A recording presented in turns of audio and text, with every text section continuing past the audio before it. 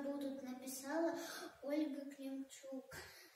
Четыре года испытаний страшных, потерь, жертвы, искалеченные судьбы, война и тысячи людских страданий. Имен героев никогда не позабудем. Пусть мирных дней отчет ведет отчизна.